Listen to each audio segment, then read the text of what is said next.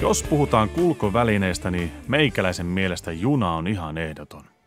Se pistää lentokoneen ja linja-auton mennen tullen. Sukellusveneestä en osaa sanoa, en ole koskaan semmosessa ollut. Enkä kyllä meinaa mennäkään, pelkkä ajatuskin kauhistuttaa. Mutta juna, siinä on jotain sellaista tunnelmaa, mitä ei muualta löydy. Saa istua mukavasti penkellä ja antaa maisemia vaihtoa ja vaikka nukahtaa tasaiseen kolkutukseen. Mutta tietysti on ennen junaa nousemista syytä tarkistaa, minne tämä rautahepo on matkalla. Ville Miinalainen seisoi Tampereen rautatieasemalla, nääs, ja katseli mietteissään aikataulua, jossa oli tulevien ja lähtevien junien määränpäitä ja kellonaikoja Villen mielestä kovin sotkuisessa järjestyksessä. Pääkallellaan miinalainen tutki taulua ensin ylhäältä alas ja sitten alhaalta ylös, mutta ilman minkäänlaista tulosta. Helsinki, Oulu, Rovaniemi, näin hän mutisi puoli ääneen herättäen samalla ohikiirehtivissä ihmisissä suupieliin ulottuvaa hilpeyttä – Eli tietämättään Ville oli tärkeässä tehtävässä, levittämässä ympäristöön hyvää tuulta, jota ei rautatieasemalla ollut liikoja näkynytkään. Ei Villekään viitsinyt paikalla kauan noljakoida, vaan suunnisti päätään pudistelen laitureita kohti. Häntä vastaan ja hänen ohitseen painasi ihmisiä sellaisella nopeudella, että heillä oli varmasti selkeä päämäärä tiedossaan. Laitureillakin seisoi väkeä, jotka vilkuilivat hermostuneena suurta seinälle ripustettua pyöreää kellotaulua tai tuijotti rannettaan. Näkyypä joku ravistelevan kättään sen oloisena, että pelkäsi ajannäyttäjän väsyneen kesken leikin. Pikajuna Helsingistä. Tämä kuulutus sai aikaan väkijoukossa melkoista kuhinaa.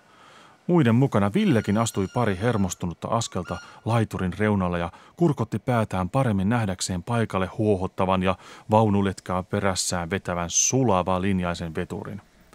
Se on kaunis, Miinalaisen Ville oli asiasta vilpittömästi sitä mieltä, vaikka ei muilta mielipiteeseen saanutkaan tukea.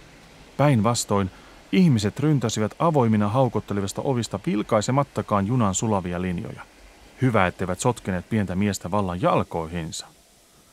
Kun laituri oli lähes tyhjentynyt, havahtui Villekin unelmistaan, vilkaisi hätäisesti naapuriraiteella seisovaa lyhyempää junaa ja teki päätöksensä. Tämän sen täytyy olla, tenhotti miinalainen itselleen ja kiipesi päättäväisesti rautateitten kuninkaan sisuksiin. Oliko sen määränpää sama kuin Villelle? Sitä ei poika viitsinyt miettiä, sillä siitä hän oli varma, että noin komeassa junassa saisi ruhtinaalista kyytiä. Keksitty juttu, tuhahtaa Tiina, eikä vallan väärässä olekaan. Keksitty mikä keksitty. Ei nyt kukaan niin pökkölö ole, että valkkaa junan sillä perusteella, minkä näköinen se on. Vai onko? Juna taivaaseen raiteelta kaksi. Moista kuulutusta ei varmaan koskaan kuulla – mutta kyllä silti voidaan puhua junasta, joka on taivaaseen matkalla. Ja siihen junaan kutsutaan ihan jokaista, eikä matkalippukaan maksa mitään, siis meille. Jumalan pojalle, Jeesukselle Kristukselle se toki on maksanut kaiken. Sitä varten Jeesus antoi henkensä, että kuka vaan tahtoo voisi uskomalla häneen nousta junaan, tähän taivaan junaan.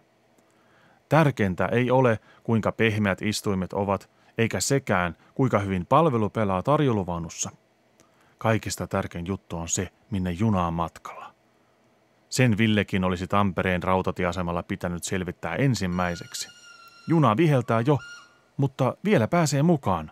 Jokaista kutsutaan henkilökohtaisesti, sinuakin, joten ei kun nouset junaan –